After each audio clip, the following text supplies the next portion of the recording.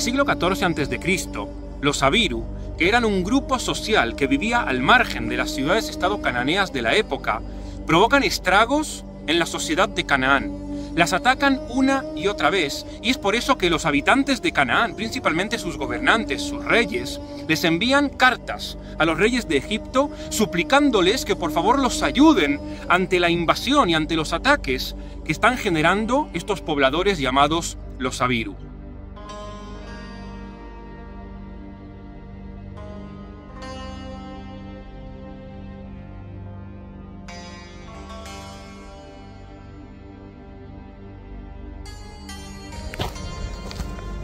Los Abiru son esos pobladores seminómadas que a finales del siglo XIV, XIII antes de Cristo vivían al margen de las ciudades-estado, que aprovechan el vacío generado por el colapso de Canaán para poco a poco establecerse en poblados sedentarios en la región montañosa central de la tierra de Canaán. Muchos historiadores han postulado que son precisamente esos Abiru, ese grupo social marginado, el grupo del cual posteriormente va a empezar a surgir una nueva etnia, un nuevo colectivo nacional el pueblo de Israel. ¿Es posible que los Abiru y ese grupo étnico de la famosa estela de Marneftag llamado Israel sean el mismo grupo de personas?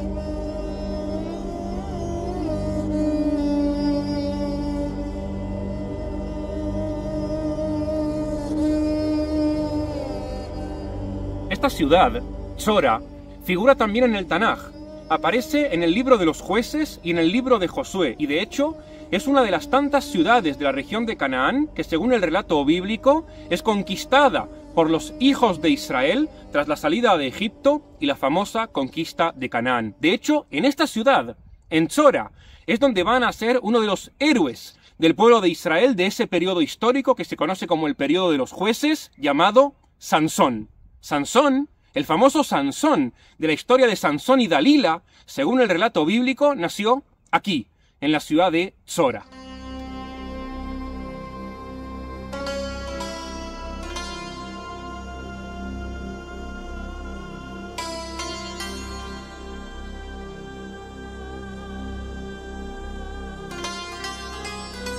Vemos, por tanto, que hay dos maneras de entender esta historia. Por un lado, tenemos las cartas de Amarna, que hablan de que los Abiru, a finales del siglo XIV, invaden la ciudad de Chora, invaden otras ciudades de la región de Canaán, les piden ayuda a los egipcios y finalmente con el paso del tiempo puede ser que este grupo de los Abirus se haya terminando asentando en la región montañosa central de Canaán.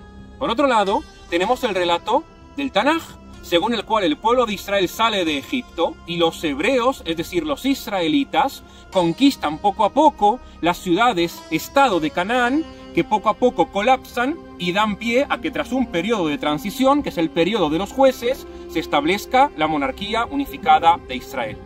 ¿Cuál de estos relatos es el históricamente correcto? Es posible quizás que podamos conciliar la historia bíblica con los hallazgos arqueológicos y con las fuentes de las cartas de Amarna? ¿Es posible que ese grupo llamado el grupo de los Sabiru sean en realidad quienes luego dan origen a los antiguos hebreos y por tanto no se trate de dos historias diferentes, sino de la misma historia contada de manera diferente?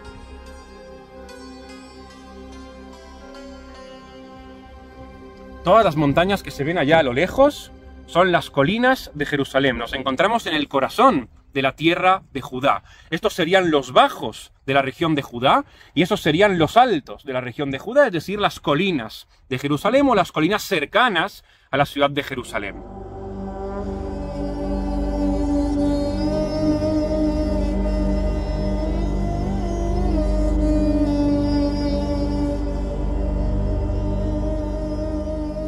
Llegados a este punto, lo interesante sería que nos preguntemos en qué se caracteriza el periodo de los jueces.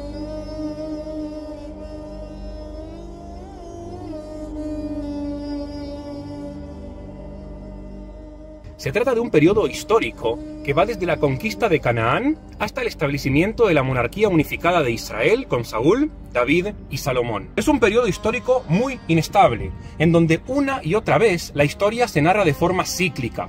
El pueblo de Israel se olvida de su Dios, luego piden perdón, Dios les envía una especie de héroe, una especie de salvador, que los salva de sus enemigos, y luego vuelven a equivocarse, vuelven a olvidarse y Dios los vuelve a perdonar enviándoles de nuevo un Salvador. Es una y otra vez la misma historia cíclica que se repite y uno de esos héroes, uno de esos salvadores del periodo de los jueces es Sansón, cuya tumba se encuentra también aquí. Es decir, Sansón no solamente nació en Sora, sino que está enterrado en Sora, él, junto con su papá Manoach.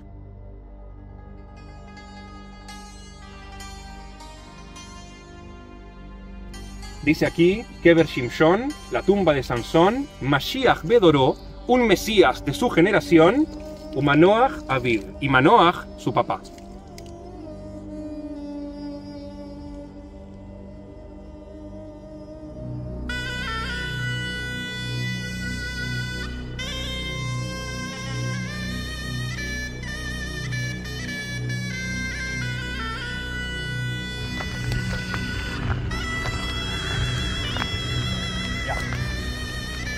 Una de las ciudades que colapsa de tantas durante el periodo de transición, durante el colapso de Canaán, que va desde finales de la Edad del Bronce a principios de la Edad del Hierro, es la ciudad de Gezer, que se encuentra hoy en día en el parque arqueológico de Tel Gezer.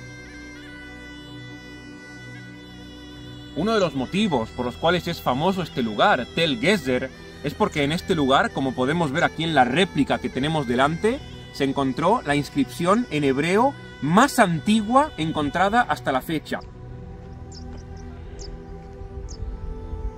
Estos pilares que tenemos aquí, en esta sección de Tel Gezer, es una sección de culto. Se cree que era un antiguo templo cananeo y el motivo por el cual hay varios pilares y un lugar que se cree que era como una especie de altar en donde se vertía agua o en donde incluso se podía llegar a verter sangre, es porque en este lugar la ciudad-estado cananea de Gezer realizaba pactos con las demás ciudades-estado. Se cree que cada uno de los pilares representaba una de esas ciudades-estado para simbolizar la unión de todas las ciudades y se cree que este altar era el lugar en donde se ponía en práctica el sacrificio ritual que consolidaba el pacto entre todas las ciudades-estado de Canaán antes del colapso de Canaán.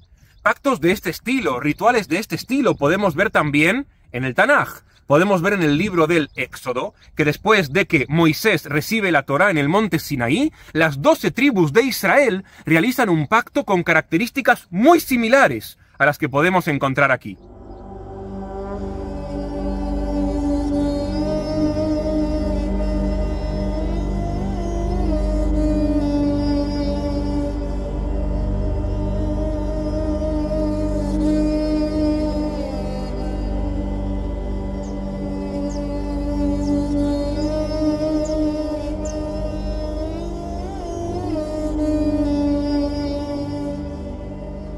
Al hablar del periodo de transición entre el fin de la Edad del Bronce y el principio de la Edad del Hierro, es imposible ignorar el cambio que se produce en muchas de las ciudades-estado, principalmente en el sentido arquitectónico. Uno de esos cambios tienen que ver con los llamados Sha'arei Ta'im, también conocidos como Sha'arei Shlomo, los portones de Salomón o los portones de cuatro o seis celdas. Uno de los principales ejemplos de este cambio en la construcción de los portones de las ciudades se encuentra en Gezer y también podemos ver ejemplos en otras ciudades de la misma época, como por ejemplo en el norte de Canaán, en las ciudades de Hatzor o Megiddo. Se trata de un cambio muy sofisticado en el diseño de los portones, pero que no es solamente un cambio en el sentido urbanístico, sino que es un cambio en el sentido también defensivo. Portones de este estilo son mucho más fáciles de defender y además también es un cambio en el sistema de administración social y comercial de esas ciudades. Estos portales eran estructuras imponentes que daban acceso a la ciudad. Aquí, los ancianos se reunían, se tomaban decisiones importantes, se guardaban documentos y se realizaban transacciones comerciales. En estos portales se reflejaba la complejidad de una sociedad que está evolucionando hacia formas de organización más sofisticadas. Algunos historiadores que identifican estos portales con la época de la monarquía unificada de Israel ven en el texto bíblico una prueba evidente de que fueron construidos por el propio rey Salomón.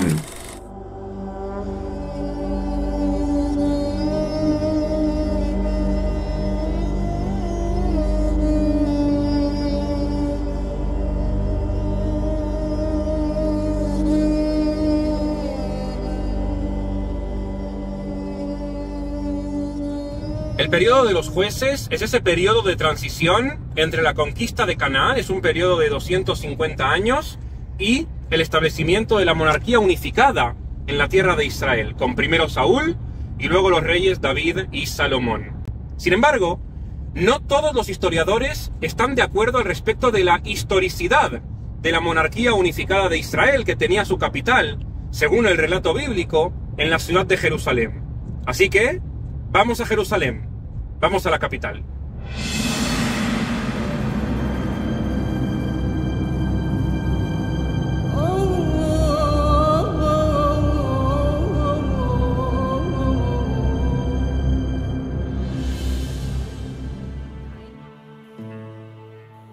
Desde aquí, si miramos en esa dirección, si miramos hacia el norte, podemos ver la ciudad antigua de Jerusalén, el núcleo sagrado de la ciudad de Jerusalén.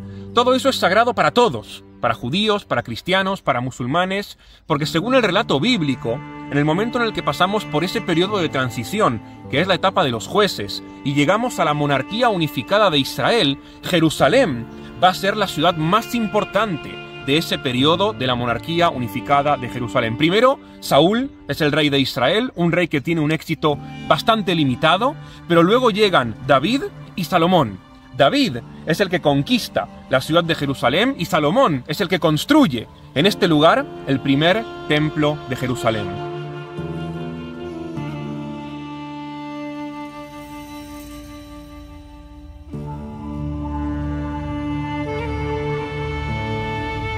Según muchos investigadores, nos encontramos ahora en la ciudad de David, es decir, en los restos arqueológicos de la antigua ciudad de Jerusalén de hace 3.000 años, de la época en la cual el rey David conquista la ciudad de Jerusalén y la convierte en la capital de su reino. Según algunos arqueólogos que excavaron aquí en la llamada ciudad de David, esta sección en la cual me encuentro ahora mismo podría ser el palacio del rey David. Y el motivo por el cual algunos de los arqueólogos creen eso es que este es el edificio más grande y más lujoso de los que se han encontrado aquí en las excavaciones arqueológicas. Y por tanto es lógico pensar que si el rey David vivió aquí, él habría vivido en el palacio más grande y en el palacio más lujoso. A eso hay que sumarle ese capitel protoeólico que podemos ver ahí, que es esa parte que va arriba de las columnas, que se han encontrado principalmente en lugares que tienen que ver con la realeza. Y de hecho, si vienen a Israel, van a poder tener ese capitel en el bolsillo, porque hoy en día se encuentra en la moneda de 5 shekels. Podemos ver aquí la imagen del capitel protoeólico, que es exactamente ese mismo capitel, lo cual indicaría que efectivamente aquí vivía gente vinculada a la realeza. Otros arqueólogos, en cambio, no están tan seguros.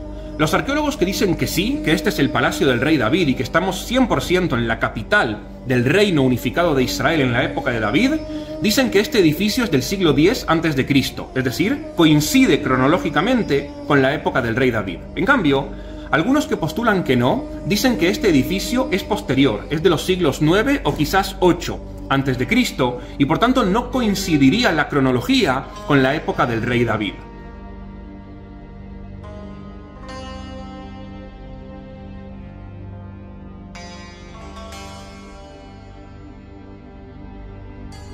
Sea este el palacio del rey David o no, porque quizás las fechas no coinciden, lo que sí está claro, y al respecto no hay absolutamente ninguna discusión, es que nos encontramos ante el inicio de lo que posteriormente se va a conocer como el reino de Judá, cuya capital sí va a estar aquí y cuya capital sí va a ser Jerusalén. Y por tanto, quizás el palacio que tengo aquí detrás no haya sido construido por David, pero sí por sus descendientes, sí por reyes de la dinastía davídica que van a tener también aquí su capital.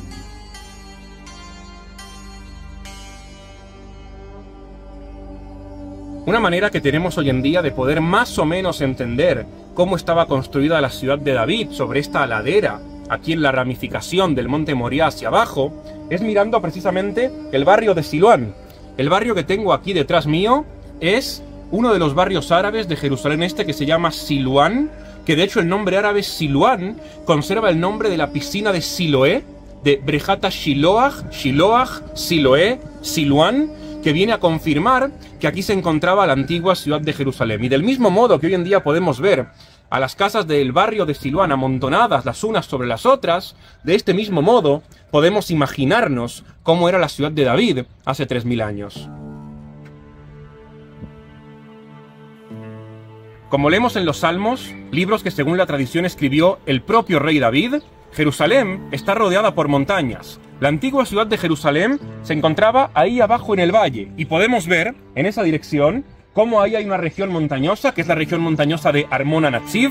Del otro lado podemos ver la región montañosa del Monte de los Olivos, en donde se encuentra el cementerio judío.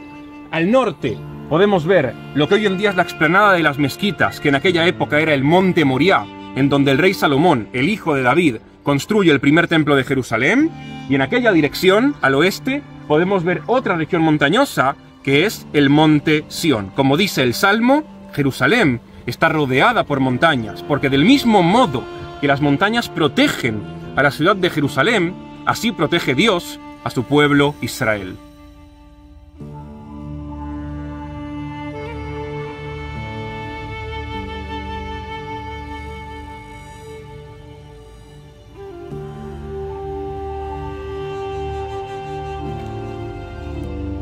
Quedan todavía muchas preguntas sin responder. ¿Conquistó realmente David la ciudad de Jerusalén? ¿Cuál fue realmente el impacto de su imperio? ¿Hasta dónde llegaban las fronteras de la época de David, de la época de Salomón? ¿Estaban las ciudades de Chora y de Gezer en el reino de Judá de la época de David? Son muchos interrogantes, muchas preguntas. Algunos dirán que sí, otros dirán que no. Algunos le van a dar prioridad al relato bíblico por sobre los hallazgos arqueológicos, otros les dan prioridad a los hallazgos arqueológicos por sobre el relato bíblico.